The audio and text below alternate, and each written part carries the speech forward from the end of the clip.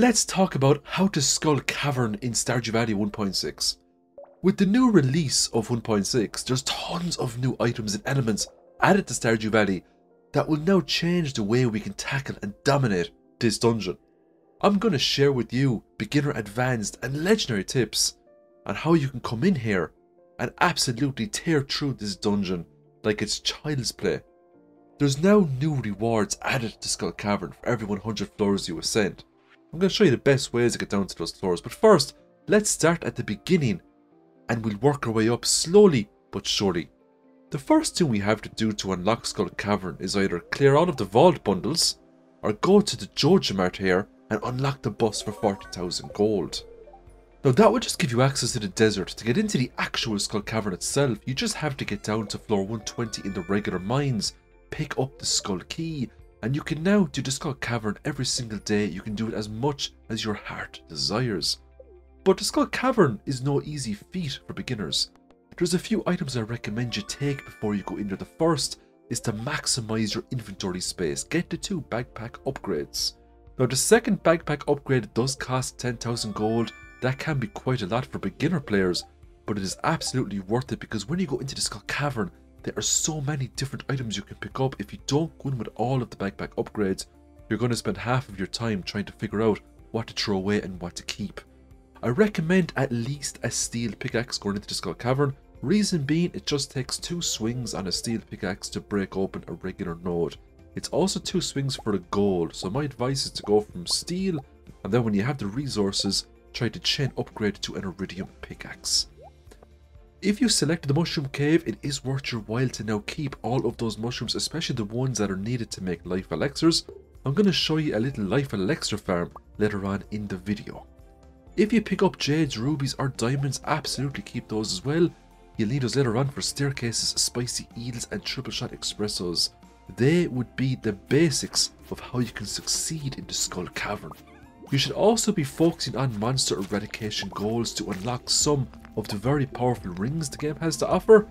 And if you don't have a whole lot of money to spend, you should also make your way down into the mid-level of the mines and start farming up coal and iron ores so you can make yourself some bombs.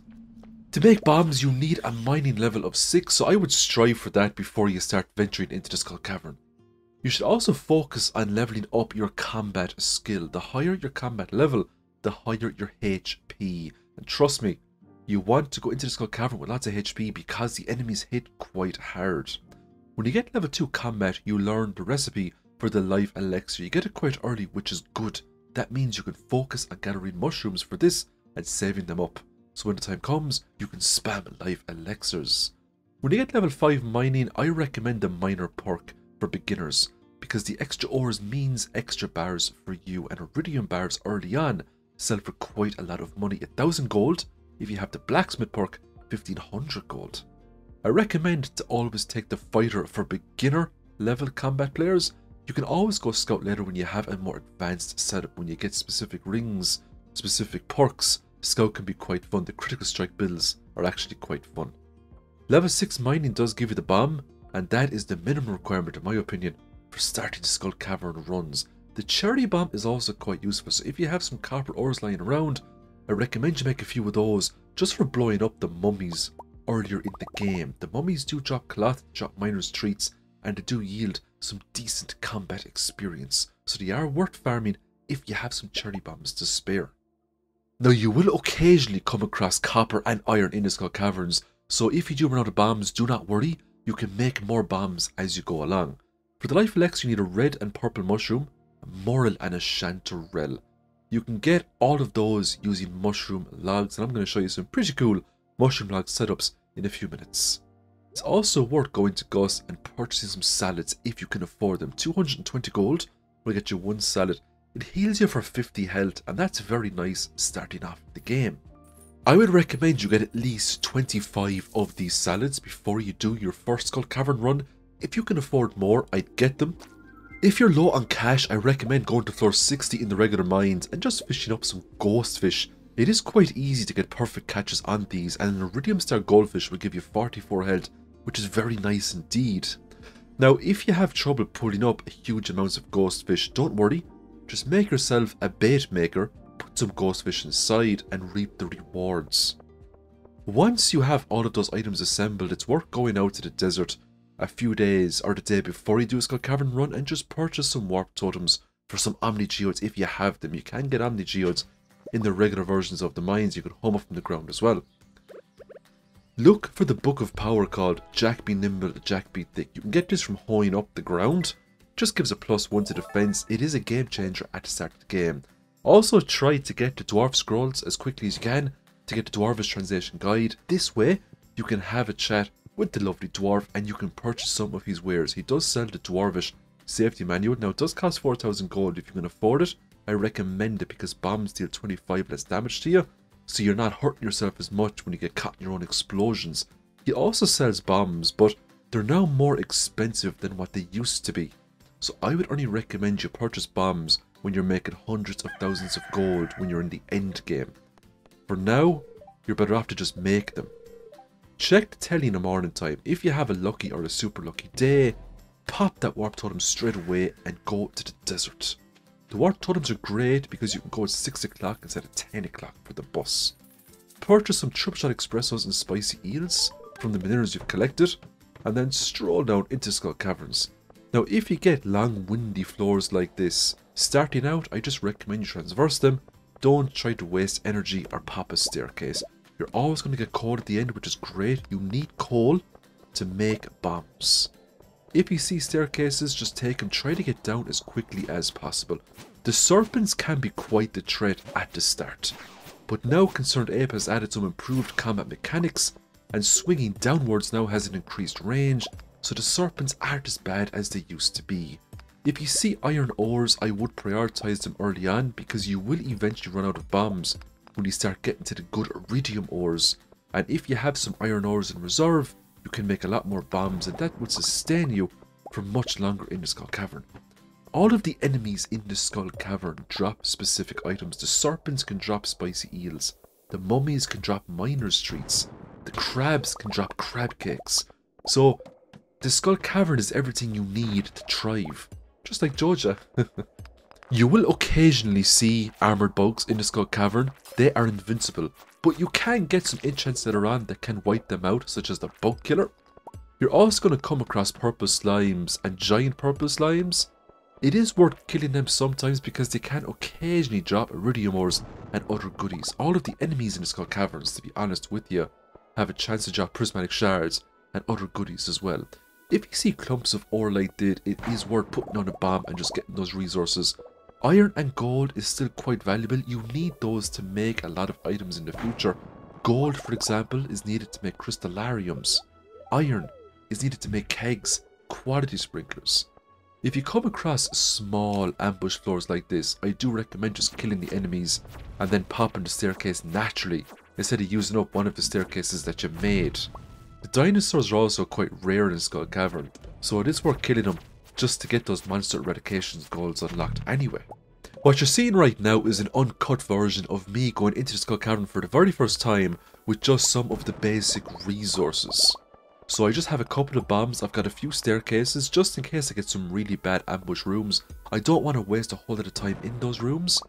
If I come across diamonds, it is a godsend. Not only can you trade that in for a Chop Shot Espresso, you can also sell it for 750 gold and you also get a lot of mining experience for breaking open diamonds. So if you do see a diamond in the Skull Cavern, it is still precious. You should absolutely collect it if you have the time to spare.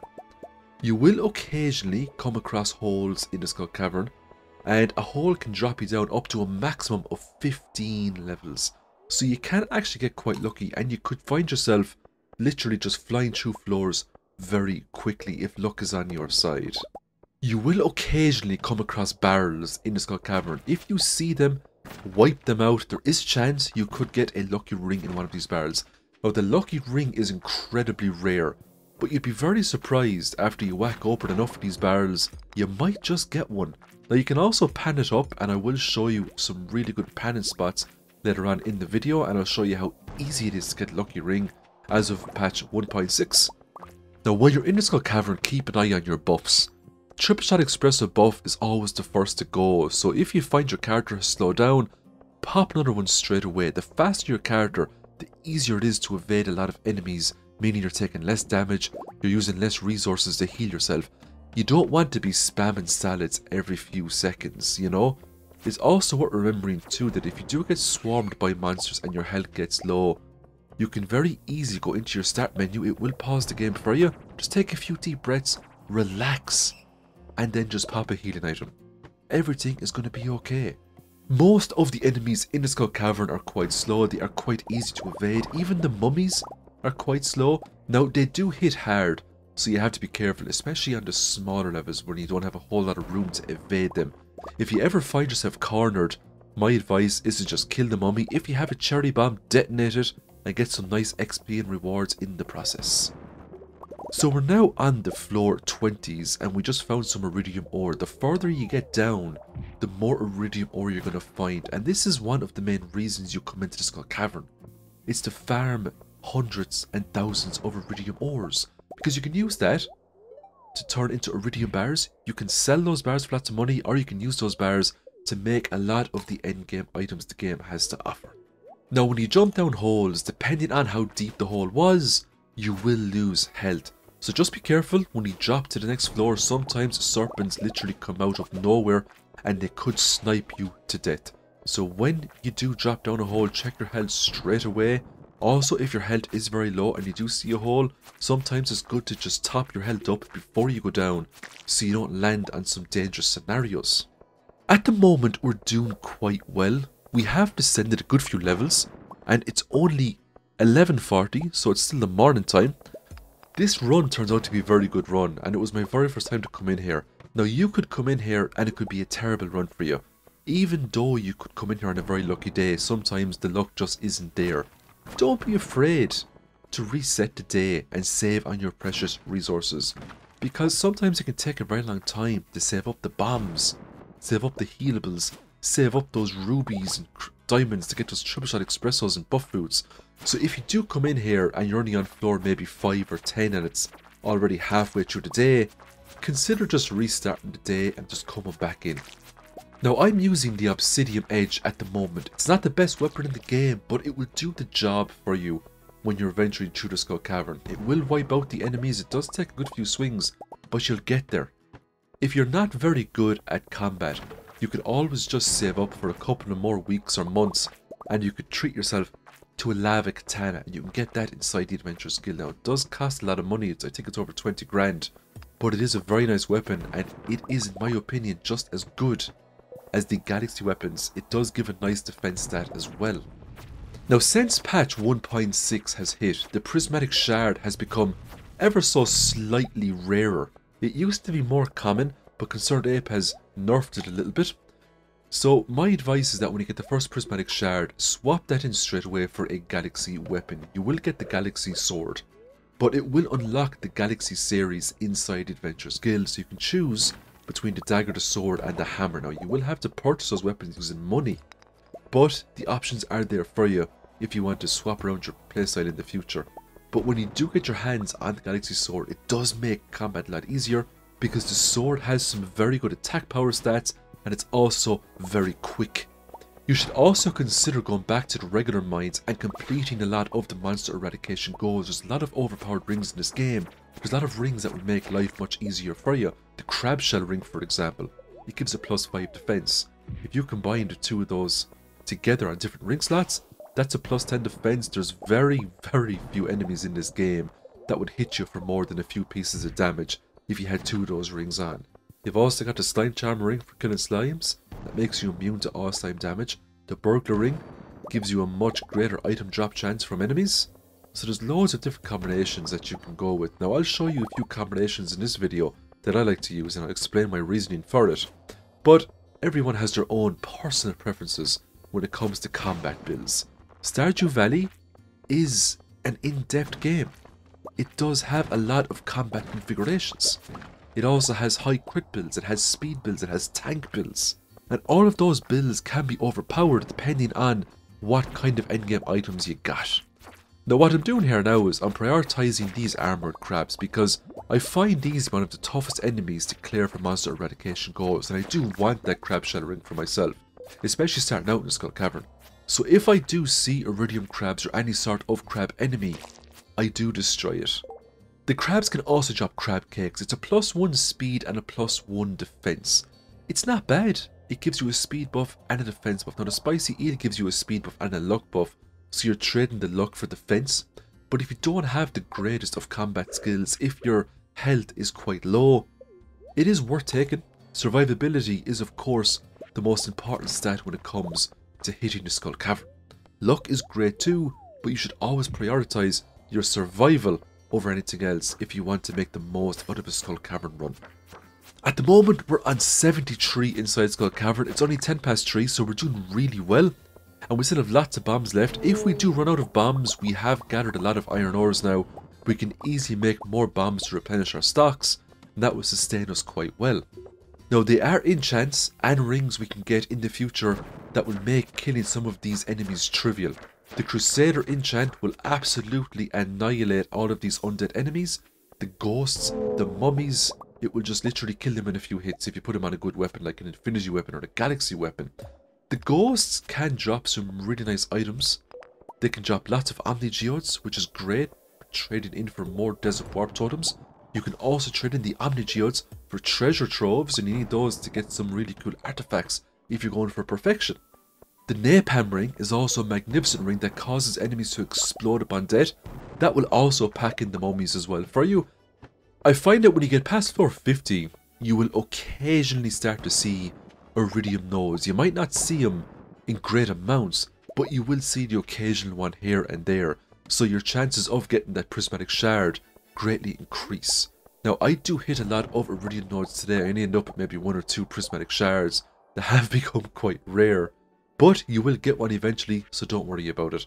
I've just run out of bombs, but I have enough iron ores that will allow me to make 12 more bombs, which is pretty nice. And that's why it's so important to come in here when you have at least a mining level of 6, so you can make those bombs. Because if I didn't have the ability to make those bombs, I'd be stuck using my pickaxe all the time and it's two swings per node, and you wouldn't make half the progress you could make with bombs. It's just so nice to just blow everything up. Those iridium nodes require a lot of strikes as well with a steel pickaxe. It's at least 5 strikes to break one open. So if you do see iron ores, even if you get down deep, you should definitely prioritize them. As we can see, I'm still putting bombs down between gold ores and iron ores because I need them. When you get a higher mining skill, you will learn the Mega Bomb. Now you do need gold ores to make that. You also need some solar essences. But you do get those inside her quite a lot, and solar essences do drop from the ghosts and from the mummies.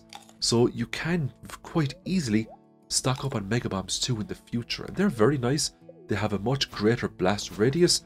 And because you can now get the Book of Power from the Dwarf that reduces bomb damage, they're not too bad when you take damage from one. A 25% is pretty good.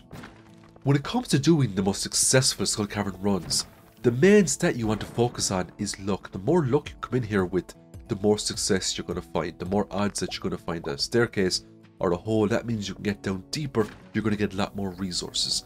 And you can actually do extraordinarily well now with all of the new items added to the game. I'm going to show you all of the new luck buff items that have been added. I'm going to show you a super crazy luck build towards the end of the video. It's just absolutely insane.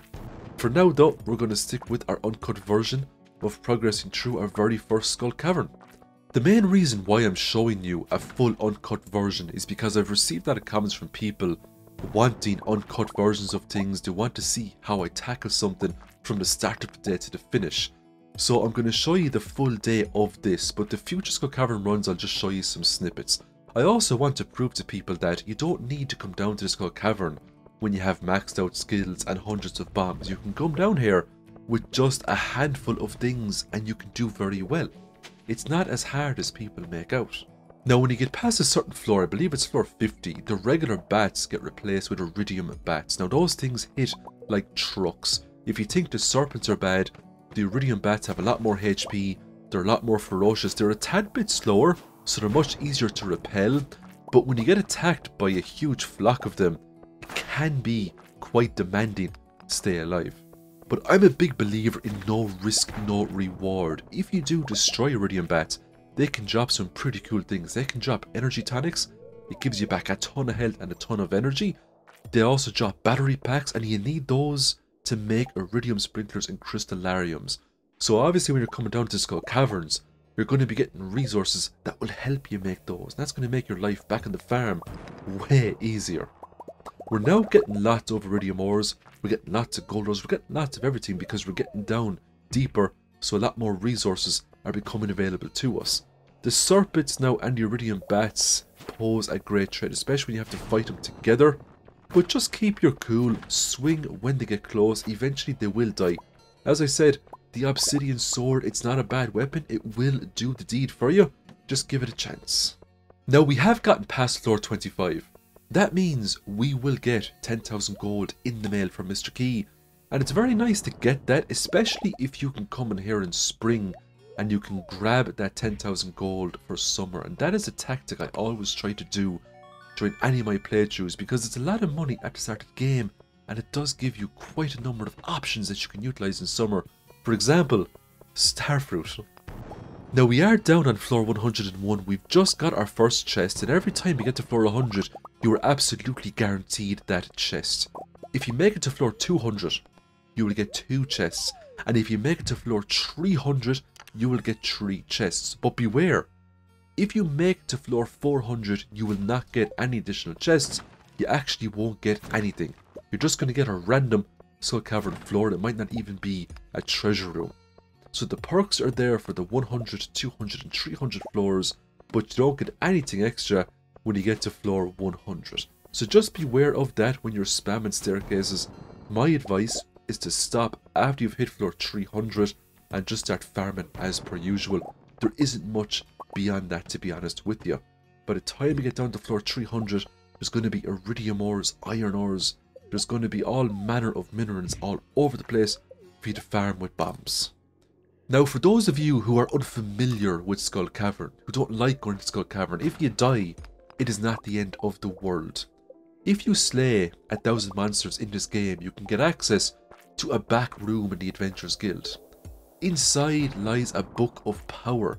The book will give you a 50% discount on Marlon's retrieval service. If you lost something precious, do not worry. Concerned Ape has now made the game a little bit more forgiving when it comes to getting knocked out in the Skull Cavern or any other place for that matter. So it's not the end of the world if you get knocked out. You can get your items back. Don't worry about it. If you're on the bench about coming to the Skull Cavern early, my advice is just come in and see what happens. As long as you bring in healables, that's, that's the very minimum requirement. Just bring in some salads or some ghostfish with you, or some mushrooms, and you'll be fine. There'll be no hassle. When you're inside a skull cavern, time goes a little bit slower, so you actually have a lot more time in here to farm the resources before you go unconscious. My advice is to never leave this place when it gets close to 2 o'clock. Just stay here, pass out, and take the hit. You could lose some money, but it's worth spending extra time in there, especially if you're on a roll and you're getting down into the deep floors and you're getting some decent resources. Just stay here, pass out. All you're going to lose, potentially lose, is money. You won't lose any of the items that you picked up. Sometimes you can get warp totems back to the farm. If you have a warp totem back to the farm, you could activate that at 10 minutes to 2 and just run into your house to save on the money. But if you don't have warp totems back to the farm, just stay here until you pass out. It's going to be alright. If you have a lot of money on you and you're worried about losing a few thousand gold, you can always just invest it, spend it on crops, plant the crops. I only have 123 gold at the moment, blow it all on salads, so when you pass out, you have nothing to worry about. The most they could you there would maybe be 10 or 20 gold, which is pennies at this stage of the game. The great thing about serpents is that they always make a big hissing sound before they actually come at you. So even when you hear that hissing sound, you don't see them on the screen. Just brace yourself, they are coming, they are quite fast. If a serpent ever takes you from behind, don't panic. Just push the right click on your mouse. If you have a sword out, you will do a parry. If you have a hammer out, do a ground slam and you will repel them back. So you don't have to take back damage at all. So I'm out of regular bombs now at the moment, I'm using cherry bombs. Now cherry bombs only have a very small explosive radius, however, it's still a bomb and it will still one-shot any node that I put it near. So cherry bombs are still quite useful and if I have copper ores, it's definitely worth making them because it's going to save you a lot of time using that steel pickaxe to break open these nodes. Even if you had an iridium pickaxe, it would still save you time because those iridium ores still take a few swings. Now we just have some iron ores here so we can very quickly build up our regular bombs again if we want to. You'll also notice that I have over 400 stone in my inventory just from detonating nodes. I could very easily turn that stone into four staircases if I found myself in a tight spot. So if you ever run out of staircases and you find yourself in a tight spot, don't panic. Just go into your inventory, see how much stone you have. You get lots of stone in the Skull Cavern. Don't be afraid to just make yourself a staircase and go into the next level and hope for the best. You'll also notice the big stone chunks. I don't mind those a whole lot, but they will give you 10 stone a piece. And that's worth note, that's a lot of stone that you can get from them.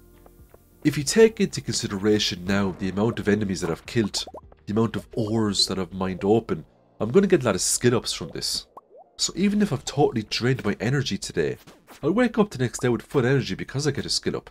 Every time you skill up in Stardew Valley, regardless of even if you got the exhaustion debuff the day before, your character will be a brand new person the next day. So skill ups are totally overpowered. The only other buff I recommend you come in here with, potentially, is a magnetism buff. So if you can get your hands on an iridium band, even a magnet ring early on, that's quite useful because you're blowing up so many ores. You're going to save a lot of time if they just magnetize to you. We're now in the last in-game hour of Skull Cavern and we're doing really well here. We've hit an absolute ton of iridium nodes. We also have our prismatic shard so we can now upgrade that into a galaxy weapon. That's our second prismatic shard right there. We're going to keep that one though. So my advice, any prismatic shards you get after the first, keep them. You can trade them in for magic rock candy every time you get three.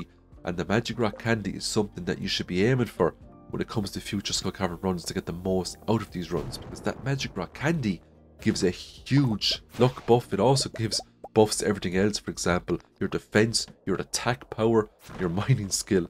It's, it's just an amazing candy all around. It's the most powerful buff food in the game. So we're now going to pass out very soon. And I'm just going to show you it's not the end of the world if you pass out. In here, we're not going to lose any items. The only thing we might lose is just a small bit of money. And that's about it. I've run out of bombs, so we just use my pickaxe to get the last few iridium ores. I made it down to floor 132, and that's not bad for the first Skull Cavern attempt, and this is something that you can achieve in spring if you do a lot of fishing and a lot of farming. So I got two levels in mining today. I can now make mega bombs. Let's take a look at some of the items I got. I got over 180 iridium ores. I got two prismatic shards. I got rubies. I got diamonds. I got lots of omni geodes. Got a piece of hardwood there, which is nice. I got some iridium bars, which is very nice as well. I also got some artifacts and some solar essences. I got cloth. So it was a real good run. I got lots of great items. All those iridium ores now can be turned into iridium bars they are going to sell for tons of money. My advice, don't sell the bars until you get level 10 mining unless you really need cash. Because if you wait till level 10 to get the blacksmith perk, those bars go from 1000 gold to 1500 gold. It's a 50% increase and that is nothing to snuff at especially if you have tons of bars. You should go to the desert the next day or whenever you have time. Trade in your first prismatic shard for the galaxy sword. This will unlock the Galaxy series inside the Adventurers Guild. The Galaxy Hammer is especially good because of the ground pound, but everyone has their own preference when it comes to combat. The Obsidian Edge pales in comparison to the attack power of that Galaxy Sword. It does way more attack damage, it's much faster, and it's going to make our future Skull Cavern runs way easier. What's more, this weapon can be further upgraded when we get to Ginger Island and I'll show you that later on in the video. Now the Galaxy Hammer is quite expensive, 75,000 gold. The dagger is 35,000. The dagger is actually not bad if you're going for a crit build. It's a pretty cool weapon indeed. The hammer is really good if you like hammers. Now I do recommend you save up and get the iridium pickaxe. I know you're using bombs a lot, so you might not need the pickaxe as much, but to one-shot nodes is incredibly handy inside a Skull Cavern. We're also going to get 10,000 gold from Mr. Key because we might have passed floor 25, that's also really nice. Let's now talk about the more advanced sections of Skull Cavern. It's now time to get yourself set up. It's now time to look at how you can do more effective Skull Cavern runs. And It all starts with making some lightning rods. This is going to be the first item that you're going to get your hands on that will give you battery packs. You want battery packs for crystallariums. You get this at level 9 mining. But to make a crystallarium, you need battery packs, stone, gold bars, and iridium bars. So all of those bats you've been slaying, keep all the bat wings. Don't sell them, just keep them because you'll be happy that they're there when it's time to make those lightning rods. You'll only be able to make a few crystallariums at the start. You might get lucky in a skull cavern and you might get a few in the treasure rooms. If you go the community center route, you'll also get one from doing the bundles to the vault. So that's one of the big advantages of going the community center route. Just put jades into the crystallariums. Consider putting in one ruby and one diamond just to get the, um, the buff foods. Every Sunday, visit the Desert Trader, trade in your jades for staircases. If you don't get a good luck day, consider going to the regular mines. Focus on monster eradication goals. Now my mines looks a bit green at the moment. That's because it's summer and I got the green rain outside. So this is what the mines looks like when you get that moss rain, which I think is pretty cool. I just wanted to show that in this video I've never seen it before. It's always good to start at the midsection. You need 500 dust sprites to get that burglar ring. It's an amazing ring. Lots of iron down here to make more bombs and coal. When you get level 9 combat, you get the Iridium Band. Now, it's quite expensive to make early on, and the biggest problem with that is the amount of solar essences and void essences you need. When you get level combat, I, I don't really advise Defender. You should always take Brute, 15% more damage. Because the more damage you do, the faster the enemy is going to die. Problem solved. In this game, my big belief is that the greatest defense is a pretty good offense. Look out for the Prismatic Jelly community quest. This is a game changer. Because if you complete that quest, you're going to get the Monster Musk, and that means monster eradication goals become much easier because a lot more monsters will spawn. Though the Prismatic Slime is a major threat, do not underestimate it, it will kill you. It hits for an absolute ton of damage. It actually has killed me before on a few occasions, and it's such a pain because it is quite the rare spawn. Because I had the burglar ring, I get two prismatic jellies, the wizard will only take one off you, which is unfortunate, but you can use the other one for the decoration. The next day he teaches us the monster musk. It's cheap enough to make, just need a few monster parts. My advice starting out is to aim for two iridium bands. What's great here is you're going to get a 10% increase in your attack power from each one. You're also going to get some light when it gets dark. That's okay, but the magnetism buff is amazing. So when you're running through the skull caverns or running through the mines in general and blowing up ores, they're all just floating towards you. The Slime Charmer ring is pretty good. The Crab Shell ring is very good for defense if you find that you're dying a lot. And the Napalm ring will pack in those mummies no problem at all. So these are all rings obtained from monster eradication goals except for the Iridium Band. You have to craft that ring. It's also worth going to Robin and building a slime hutch. Now the slime hutches are now much smaller so you can very easily tuck one of these away in a nice cozy corner of your farm. Marlon will visit you the next day. He will give you a green slime egg for free. You can incubate that. You don't even have to bother with slimes. My advice is to just put one down so you have the ability to harvest eggs from when you kill slimes. It is quite rare, but the eggs do sell for lots of money, especially when you go into Skull Cavern. The purple eggs do sell for loads of money, so it's just an extra perk for when you're doing your dungeon crawling that the slime eggs might drop. It's just extra income for you. I also recommend upgrading your house at least once so you have the ability to cook. Now, you could sidestep this if you get to Ginger Island and you unlock the house there, that also comes with a cooker. But it is handy having the cooking station on your farm. You also have the cookout kits as well, but I do prefer a permanent cooking station. If you haven't gotten a coffee bean, from slaying all the dust sprites when you're going for those monster eradication goals, consider purchasing one from the travelling cart. She occasionally sells them for 5000 gold. Now it is quite expensive at the start, but if you put it into a greenhouse, you have it forever and they will rapidly expand. Every time you harvest one, you get more coffee beans and you can plant those, rinse and repeat. My advice, take up maybe one third of the greenhouse, that'll keep you going for a while. When you get to winter, you will get the magnifying glass with this, you can locate some secret notes. My advice is to track down two secret notes that are really good for Skull Caverns. The first will bring you to this truck here. If you give the driver the rabbit's foot, he will give you a special charm. This gives you a permanent increase to luck, and that's a game changer for a Skull Cavern run. In order to get that, you just need a Secret Letter. But there's one more Secret Letter, and it gives you an amazing buff for dungeon crawling. And it is basically a letter from Mr. Qi saying, it's waiting for you on level 100 in the Skull Cavern. Now, if you keep going the way I'm going with the Crystallariums, eventually you can just spam staircases down to this floor. He does mention it if you use staircases, but he will not punish you in any way.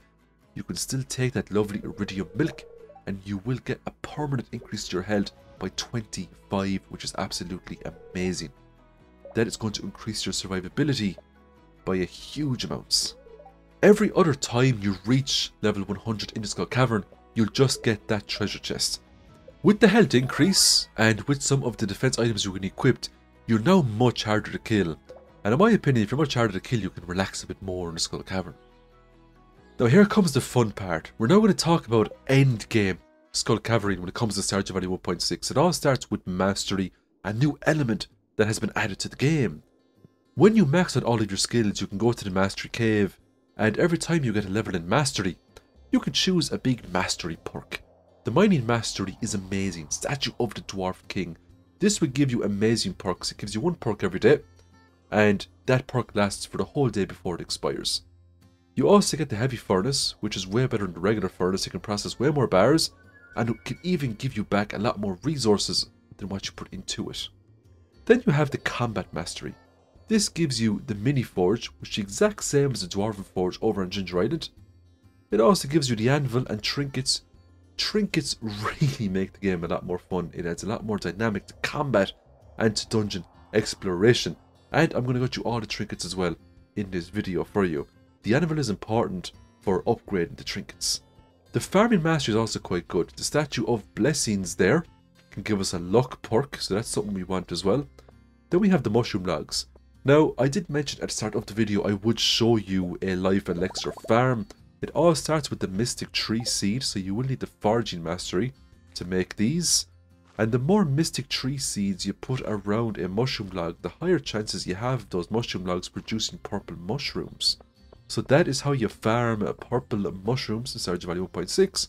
Just surround these mushroom logs with Mystic Tree Seeds.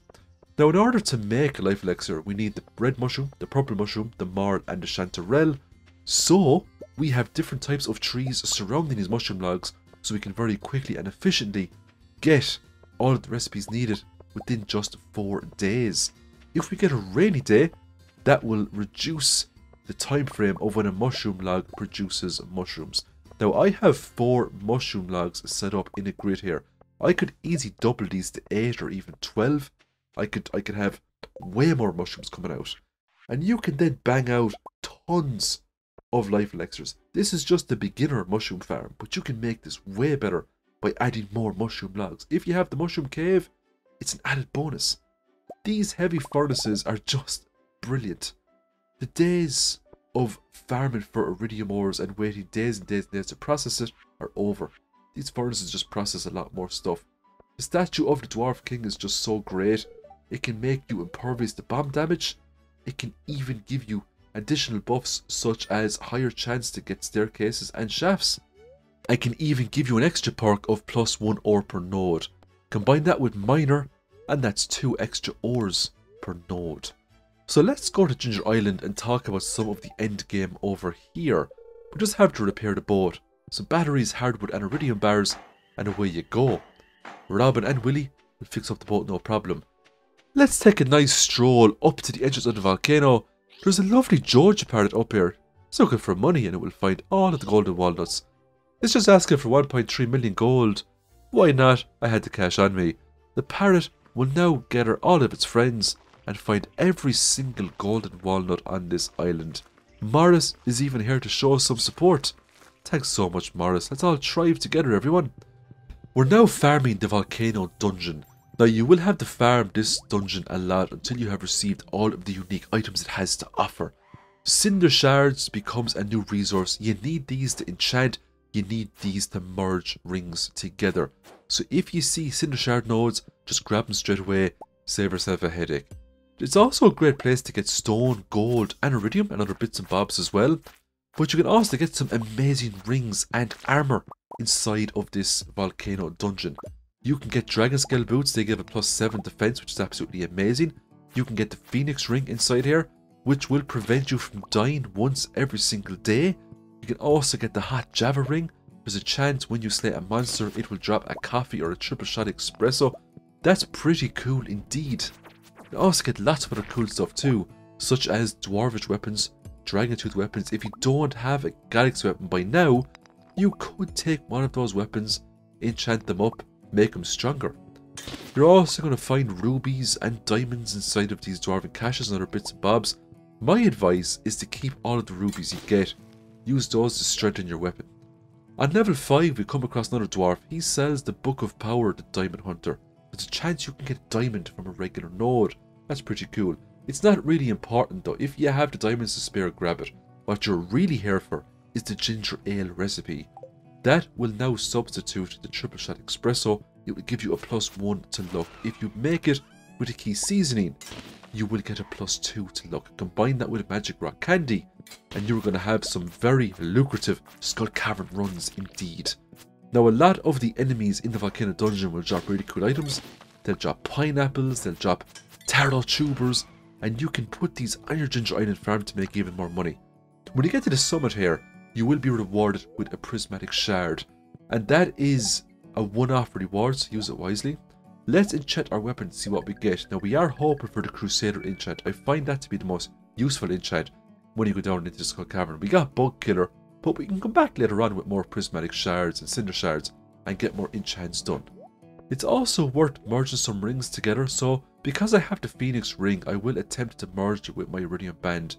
I don't have enough cinder shards, so I will have to farm that cave and come back later.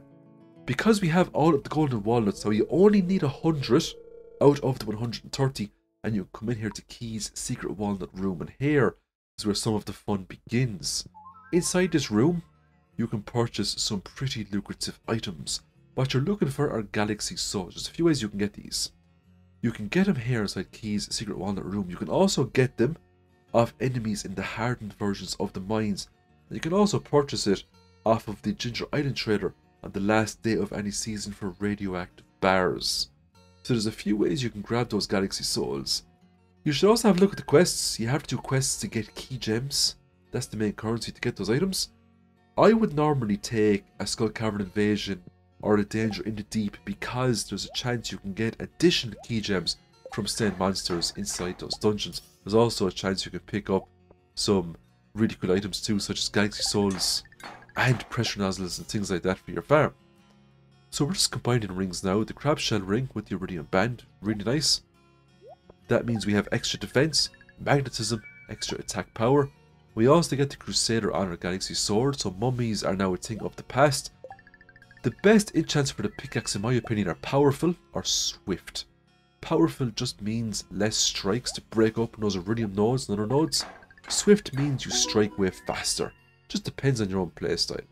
The Infinity Blade is very nice, plus 2 defense, plus 4 speed, and a lot of extra attack power. We're going to put 3 rubies into that as well, because it's going to dramatically increase its attack power further.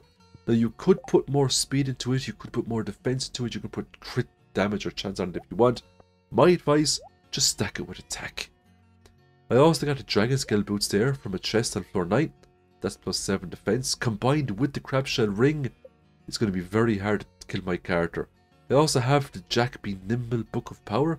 That's an extra plus 1 to defense. So we don't have much to worry about. Let's quickly talk about some of the trinkets. What I'm using here is the Rod of Ice. Every few seconds it fires out an ice projectile.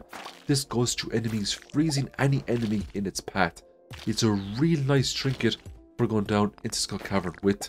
If you're not good at fighting serpents or fast-paced enemies, the Rod of Ice is a nice trinket to slow things down.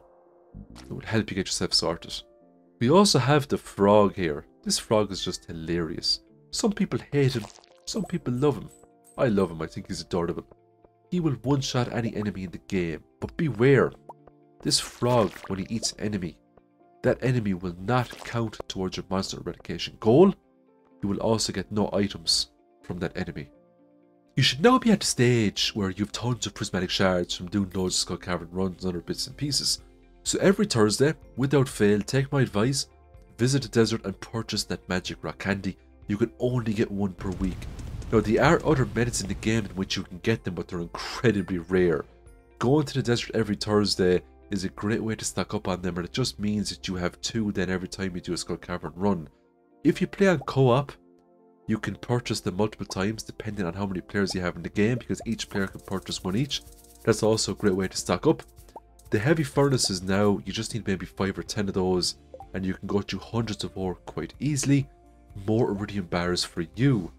With the blacksmith perk, 1500 gold a pop is a no-brainer. With Qi seasoning, you just need some ginger and sugar. You can buy sugar from Pierre, no problem. It's a simple item to make. You now have huge amounts of luck going into the Skull Cavern. But you can get way more luck. These are just the consumables. Upgrade your pan to an iridium pan and fish yourself up a lucky ring. Get two of these. Each ring gives a plus one to luck. Bring those to the forge and merge them with something else, whatever your playstyle is. These lucky rings are now simple to get because you can upgrade the pan to iridium quality. It just means that you have a much greater yield every time you pull stuff up out of the river with the pan. It's just amazing. You can also enchant the pan as well with some really cool stuff. Generous is a great one because you get more back. The lucky ring with an iridium band. I'm only taking the iridium band because of the magnetism and the attack power buff. The iridium band is an all-round great ring. My second combination is a napalm ring with a lucky ring. I love when monsters explode and when you find extra staircases. I also have the Infinity Blade with Crusader, and I also have my pickaxe with Powerful. You should also strive now for a big shed, fill it up with crystallariums, and have all those processed jades. It will take quite some time, but I'm going to show you a great way to make crystallariums early on in the game by using a few additional items you can get from doing Qi's quests. Once you've purchased a load of staircases with jades, there's an item called a deconstructor, okay? If you put a staircase into a deconstructor, you'll get back 99 stone. So you're probably thinking, what you need stone for? Isn't just stone used primarily for staircases? Not at all, friends. You need stone to make crystallariums. So the deconstructor will see to it that you have tons and tons of stone to make loads of crystallariums. You should also pick up the community quest that will Caroline that will teach you the solar panels. Just pop these out in the desert every few days. You can visit the desert, get your battery packs. That's your stone and your battery packs taken care of. You can get the rest of the resources by just doing Skull Cavern runs. You just need gold bars and iridium bars. And you'll very easily be able to bang out tons of crystallariums. That is how you make loads of crystallariums. Just use the solar panels, use the deconstructors in the Squinter Skull Cavern, and get loads of gold bars and iridium bars. You'll be able to make loads in no time. So we just got a statue of blessings there. That gives us the plus one to luck. And we got a nice buff there too with the statue of Dwarf King. An increased chance in finding holes and staircases. Because today's good luck day, we're going to venture off and do a Skull Cavern run. I didn't realise today was the uh, desert event. But we're going to do it anyway to see what kind of rank we can get. So this desert event, it has a really cool ranking system. Every time you get down 5 floors in the Skull Cavern, you gain a rank. But every time you um, activate a statue inside the Skull Cavern, you also gain an extra rank. But the statues can either bless you or curse you. You're taking a gamble, you see. Because we've saved up on staircases, all we have to do is just spam ladders. My advice when you have this many staircases is to spam ladders till you get to about floor 300. Nab the lovely tree treasure chests. Once you've nabbed those treasure chests, then start exploring and start blowing up rooms, you're going to end up with hundreds upon hundreds of iridium ore, gold ore. You're also going to get an unmerciful amount of treasure rooms because you're coming here with all the luck buffs. You've got the luck buff from the statue, you've got the luck buff from the ginger ale with the Qi seasoning, you've got the luck buff from the magic rock candy, you've got the luck buff from the television, you also have the luck buff from your two lucky rings. You are basically a luck machine. And when you come into Skull Cavern with that much luck, every few floors you're going to hit a treasure, a treasure room. And these treasure rooms can give you auto petters, auto grabbers, crystallariums, they can give you bombs, they can give you prismatic shards, they can give you so many cool items. Because I have Crusader and the Napalm Ring, it just makes for a magnificent combination here when it comes to dungeon exploration. I'm after getting a ridiculous rank of 130. Let's see what Gil has to say. he makes such a wonderful face, he just can't believe it. It's just so funny. ConcernedApe, you're just a legend to add such a portrait to that man. It's been too many years since he's made that calm face every time we went into him to showcase our incredible monster slaying skills. he also gives us a magic rock candy as well, which is really nice. Tons of calico eggs. Finally, it's worth noting the Way of the Wind Part 1, that's a permanent speed increase. If you have the money, consider getting that early or mid game. The price catalog is handy as well, because if you're trying to figure out what to throw away inside Skull Cavern, the price catalog will help you because it'll show you the worth of an item. Way of the Wind Part 2 becomes available once you unlock Way of the Wind Part 1. This will make your character even faster and that is on a permanent basis. So I am going to leave the video there. I hope you enjoyed my guide to Skull Cavern, Stardew Valley 1.6.